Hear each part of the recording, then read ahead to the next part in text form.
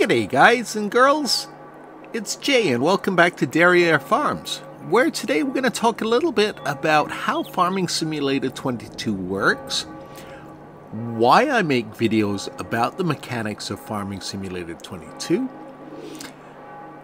and I'm also going to ask you, my subscribers, and my viewers that haven't subscribed yet, who hopefully will, to watch the video and leave me some feedback at the end of the video. Make a comment in the comment section and let me know what you think. And I'll get into the how and the why in a little bit. So first off, let's talk about how Farming Simulator 22 works. Well, it pretty much works just like any other farming simulator game, where I won't say you buy a farm, you get a farm, you start with a farm, you plant some crops, you fertilize some crops, you grow some crops, maybe you buy some animals, you raise those animals, you sell them, you sell your crops, and you make money and you expand your farm and you grow. On the surface, it's very simple. It's just like every other farming simulator game. And I went back all the way to oh, the first copy of Farming Simulator that I have. And essentially, those mechanics haven't changed a bit since the Farming Simulator franchise came out. However, things started to change a little bit. Probably the first major change to the Farming Simulator franchise was when Precision Farming was released in um, Farming Simulator 19 it added a whole new mechanic to the game. And I was fascinated by that. I mean, up until then, yes, you'd had new maps, you'd had new crops. We got, uh, we got sugarcane, we got potatoes. So slowly over the years, things changed, and the game got a little bit more in depth, and a little bit more in depth, and it grew from there. And then Farming Simulator 22 was announced, and they started to talk about some of the features of the game, like productions. And I realized it wasn't going to be quite the same as the other games in the Farming Simulator franchise. And I was fascinated by that was really curious as to how they were going to make everything work with what they were talking about. All of a sudden, they were talking about essentially a whole new game that was going to take. Well, I don't want to say some mods. Um, but it was going to take things one step further than just modding and the base game itself was going to be transformed. We would now have productions, we would now have seasonal cycles, we would now have seasonal price fluctuations uh, based on the crop. Um, no longer would crops grow just in one day. Um, the crops would now have their own growing cycles. Uh, a bit like seasons in farming simul in previous versions of the modded version of the game. But this was going to be built into the core. Same with productions. I mean, productions in Farming Simulator 19, while they were possible, they were really just modded versions of the animal pens. And as that was the only thing that could produce product. Um, so people would take basically the concept of the the sheep pen and they would modify it and they would build mods around the way it worked so that instead of producing wool it would now produce pallets and obviously the mod itself the building would no longer be a sheep pen but it would be a facade but essentially it was an animal pen and now they're talking about unique productions with production cycles so I was truly intrigued uh, as to how they were going to make all this work. And I'm a bit of an egghead. Um, ever since Farming Simulator came out, I've always experimented to see what works best and what doesn't work best. Um, in the previous versions of the game, it wasn't that difficult. Like I said, you planted your field, you fertilized, you limed, um, you harvested and you sold your crops. Rinse, repeat the next day, and you just keep going.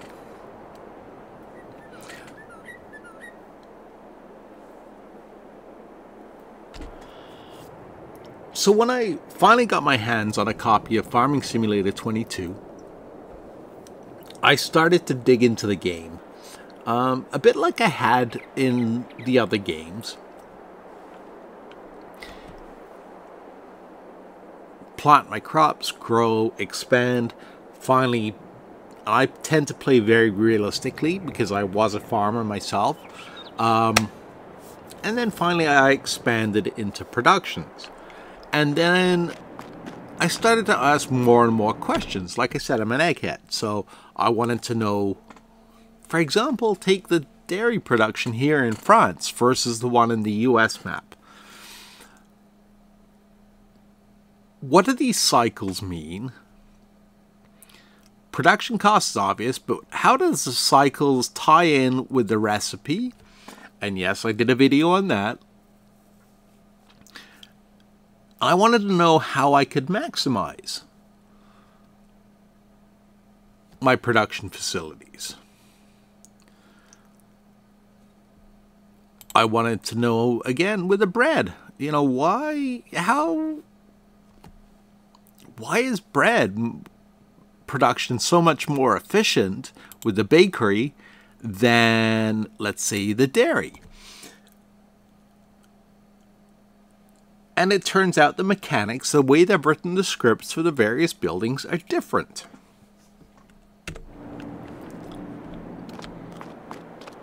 Animals are slightly different too now if you've watched my animal video, and if you haven't already figured out, animals, while they don't have a, let's say, well, they have a life cycle while they never really die. You buy an animal at a discounted rate, which is supposed to represent, you know, you can buy them at any life stage, from newborn to adult, And that was new. In previous versions of the game, you just brought sheep. I think you pay, I can't remember what you paid. I think you paid, uh, say, we'll take a cow where you paid a couple of thousand dollars for a cow. All of a sudden it became worth half as much. And you put the cow in the dairy, you milk the cow, and you had the option they would breed and you could sell your excess cows if you wanted to. But for the most part, they weren't huge money makers selling animals for profit. You were far, with the exception of pigs, you were far better off selling the wool and the milk and the eggs. Now with Farming Simulator 22, like I said, you kind of have a life cycle where the animal's worth X amount when it's a newborn. It slowly goes up in price. It hits an optimal, and we'll take beef cows as an example, uh, which was a new concept in this game too beef versus dairy cows. Before they were just cows. And the beef cow became worth more and more, just like it does in real life. So I wanted to know where was the optimal point to sell this cow. Because as they got older, their value started to decrease. Again, like in real life, uh, a beef farmer will raise an animal to a certain age, he will then sell it and he gets paid partly on the weight of the animal, partly on the age of the animal. Um, but the older the cow gets, obviously, the less it's worth because the beef is no longer prime. The cow tends to uh, either get fatty, uh, muscles get sinuous, just like people, they age and they go past the prime in their life. So I decided, like I said, I was going to dig into all these factors and I was going to make videos and share them with people. So that's why I started the channel. So that everybody could figure out how the game work works and how you get the most out of it. Now, don't get me wrong by this comment. I'm a big fan of Daggerwin. Uh, for those of you, who, I'm sure most of you have watched at some point his videos. Um, and I watch his videos every day, and he is a great storyteller. But it frustrates me a little bit that at this point in the game, he is still. I hate to use the term, I don't want to use the term, and like I said, I don't want to criticize him because he makes fantastic videos, story videos. Um, but his understanding of the game mechanics are a little bit lacking. And he's still trying, he's still figuring out um, how to do things properly, if that's a polite way of putting it. Um, I won't go into the video, which video it was, or what he was trying to do, but he was trying to do something the other day in one of his videos, and I was like, no, no, no, no, no, don't do that. And I'm like thinking, uh, you know, yeah, I'm still new. I'm still not very well known as a YouTuber yet, but I'm thinking, I've got a video on that if you had 20 minutes to watch it, you would know how that game mechanic works. And the reason I mention this is because um, he's in many ways still farming like you would have in Farming Simulator 19. Whereas the game mechanics, especially like I said with productions and so on, have changed. I'll give you an example, and this is is not aimed at Daggerwin. This is aimed at quite a few YouTubers in general. And I don't know what you as a viewer do or don't do, but tractor maintenance.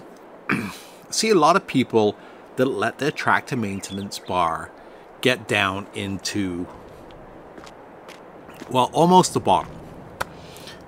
In Farming Simulator 19, it was a flat rate. Like, yes, the lower it went, the yes, you had to pay to repair it. It was slightly incremental based on the amount of damage, but it wasn't like it is in Farming Simulator 22, where the repair cost increases incrementally. So the longer you wait, the more expensive it gets by the hour. And if you've watched my video, you'll understand that, but say you take a tractor and you run it for an hour, and it's going to cost you $100 to repair it. You run the same tractor for two hours, and instead of it costing you $200 to repair it, it now costs you $250 to repair it. You run it for five hours without a repair, and all of a sudden you might be looking at a $2,000 repair bill. So the repair is incremental. And again, those are the things I like to look at, examine, and why, again, as I said, I produce the videos I do. Now when I now when I make these videos, I as you know, for those of you that have followed the channel, are following the channel, I tend to walk you through the process.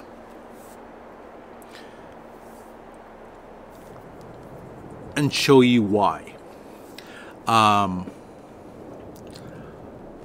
a good example of this, uh, and I'm going to use this example because this is where I want your feedback, is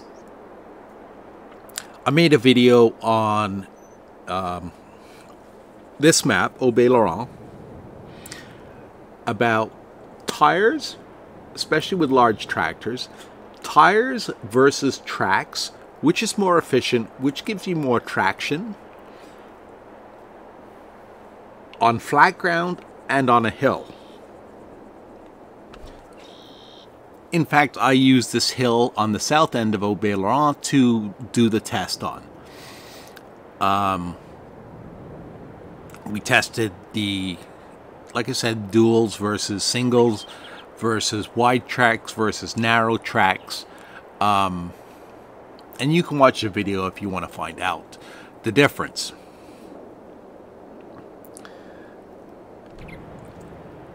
And what's more efficient. Now, not it's not just this video, but I'm gonna I'm using this one as an example. I've noticed a couple of comments recently coming in, and I don't know whether it's because the channel's getting more popular and more people are watching, but the comment was left, um, and it actually got a couple of thumbs up. The comment was essentially, what was it, 15 minutes to tell us that tracks are better than tires? Why didn't you just say that from the beginning? So like I said, this is where I kind of want your feedback is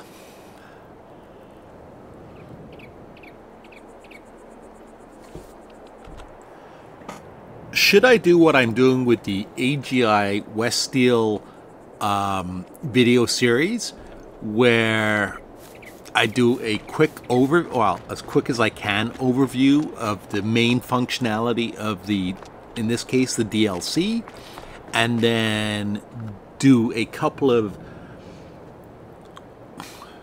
uh, let's call them nerdy videos where we actually get into the specifics of what works best. Like I said, I still have a couple of questions about the Westeel. Well, I actually have the answers and I'm in the process of recording the videos. But you know, I still have a couple of questions, uh, or I had a couple of questions regarding seed production. Uh, now that we have all these different augers instead of just the belt system, I want to know which ones are the fastest at loading and unloading silos. Because um, we all know that obviously unloading in a facility like this one, where it's a big dump, is the fastest way but I want to know which of the augers are the fastest and which ones you should or shouldn't be using, again, depending on how much time you have. Um, in real life, the size of the auger is what determines the speed at which it loads. Um, but Giants haven't given any of that information in the game, whether it's a 10 inch, a 12 inch, or a 14 inch auger. Um, so again, it's all experimentation to find out. I did it with the Precision Farming DLC, broke the series down into different segments like um, pH levels, nitrogen levels, uh, variable rate seeding, and put those into different videos. And it seemed to work quite well there. Um, people chose which they were most interested in, and some of them did really well. And the ones like, why do I need to lime? Well, it wasn't quite so popular. Um, but leave me a comment. Let me know. Do you enjoy or do you want to know, like I do, about the technical side of the game as well as having a quick conclusion uh, that you could jump to as a reference if you wanted to, um, let's say, a like a short synopsis video. Okay, so please, please leave me a comment. It's uh, I don't have a community page yet because I don't have enough subscribers, or else I would put uh, put this in a poll. Um, but like I said, please leave me a comment. Uh, it, it won't take that long, and just let me know what you guys think. Thanks for your time, Jay.